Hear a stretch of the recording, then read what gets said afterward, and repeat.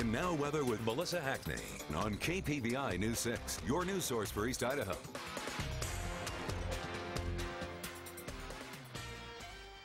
Good Tuesday morning, everyone. 36 in Pocatello, 39 in Idaho Falls. 6 mile per hour winds currently in both Pocatello and in Idaho Falls. Felt a little chilly this morning, but what got me through it was knowing that we are going to have an absolutely beautiful day.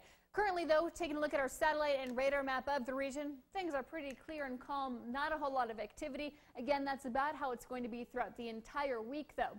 Precipitation levels since midnight. Both areas have been dry. Sunrise will be about 7 o'clock this morning, sunset around 8 o'clock this evening. For the lower plain today, like I said, beautiful weather, 69 for the high in both Pocatello and in American Falls, well above our seasonal averages for these daytime highs. Winds 10 to 15 miles per hour, sunny skies. For the upper plain, they'll also have that sunshine with temperatures around 63 in St. Anthony, 67 in Idaho Falls.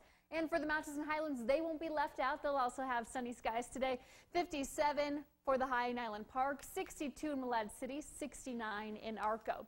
As we switch gears to this evening, we'll have mostly clear skies in the mountains and highlands, 33 in Island Park, 41 in Malad City, 38 in Arco, so pretty mild temperatures. Same with the lower plain, temperatures will be about 15 degrees above average tonight. 46 in Pocatello, 44 in American Falls, mostly clear skies. And for the upper plain, they'll also have mild temperatures around 41 in Idaho Falls, 39 in St. Anthony.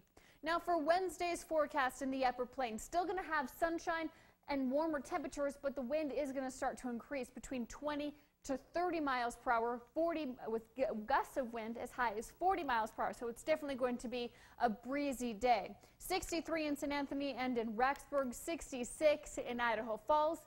And for the lower plain, mostly sunny skies. Also increasing winds between 20 to 25 miles per hour, 68 tomorrow in Pocatello and in American Falls. And lastly, the mountains and highlands tomorrow, 30% chance of showers with the possibility of thunderstorms also in the afternoon. They'll have partly to mostly sunny skies. 59 in Driggs, 66 in Malad City, 63 in Salmon. Now taking a look at our Pocatello six-day forecast, we'll have mostly sunny skies throughout the entire week with temperatures in the high 60s through Friday, then go down to 61 on Saturday, 59 on Sunday.